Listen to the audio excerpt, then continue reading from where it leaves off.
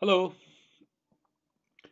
So in this today's video, we will be talking about uh, non-SAP system integration with Central Finance. Uh, as we discussed uh, in few other videos, that uh, how non-SAP systems work, uh, and of course, every organization can have uh, SAP or non-SAP system in their current landscape. So of course, they may or may not want to integrate, but it depends.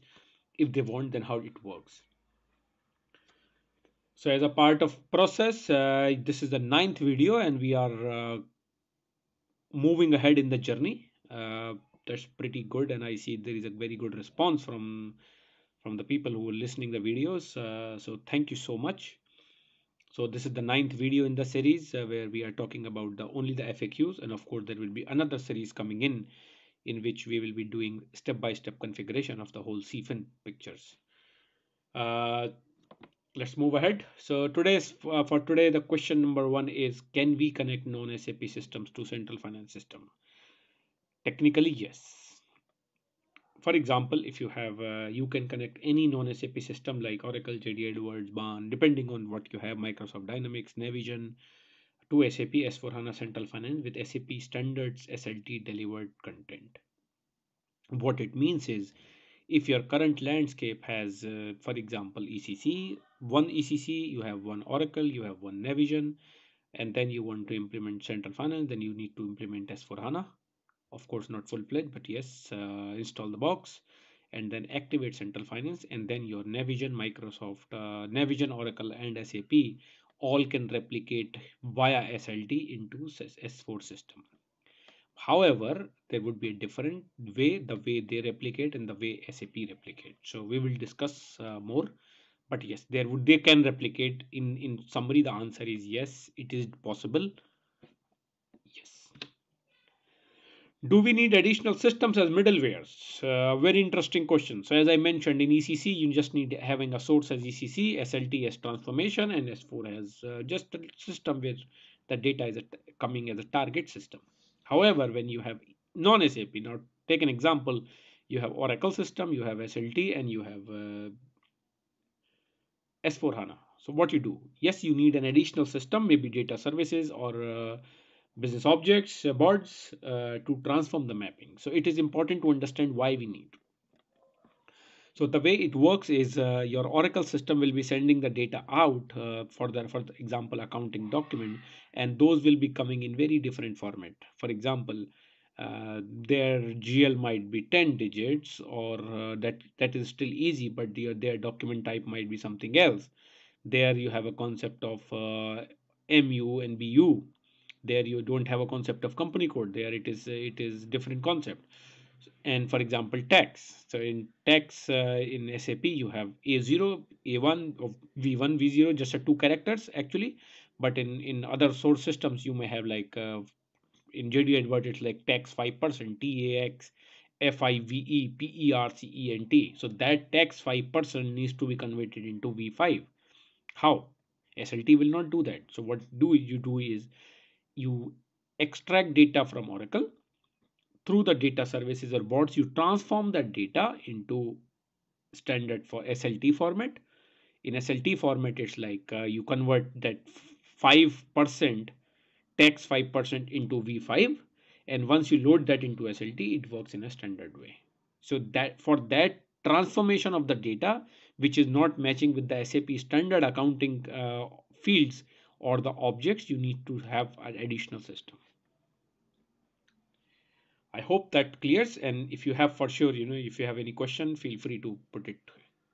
I will explain it further in another video.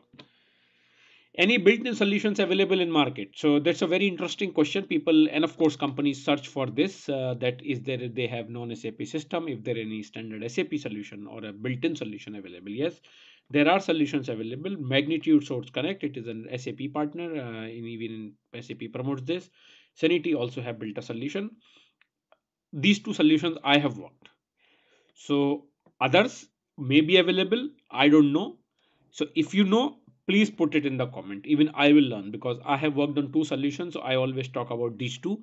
But yes, if you say, okay, one more is available by this company, by this accelerator, for sure, I would love to understand those. So please feel free to add your comment and your experience how that tool works what is that tool and if there is any web link or any video i can listen where i can understand what is that all about that would be very informative for me so i would wait for your comments regarding this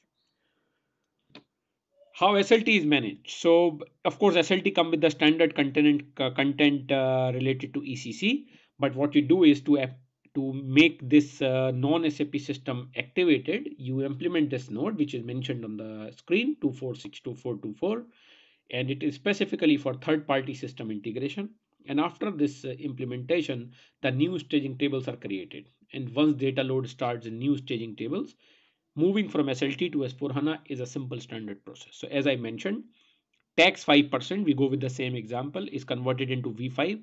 Now that V5 will sit in this table, maybe accounting document, is it a vendor item, then it's a creditor, if it's a debitor, a customer item, it's a debtor item, and then tax information, and then we have one header table, exactly it, it will post data into BKPF. Accounting documents is like GL to GL, debtors uh, customer invoice, vendor invoice, and with tax lines. So it these are the tables, standard tables which are given by SAP in which you have all the fields available.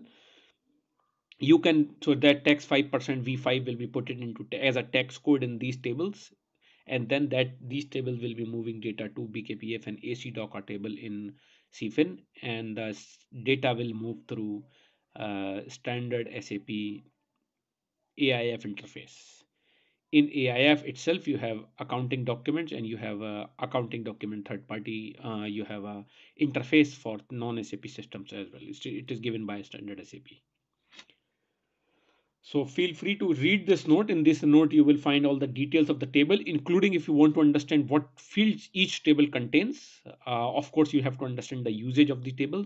So you can just download this note and in note itself, there is an Excel attached in which if you download that Excel, you will see all the necessary information, including the fields and the table design and the table, what particular field is used for, what is the character limit, what is the technical name, all that information is given in the Excel.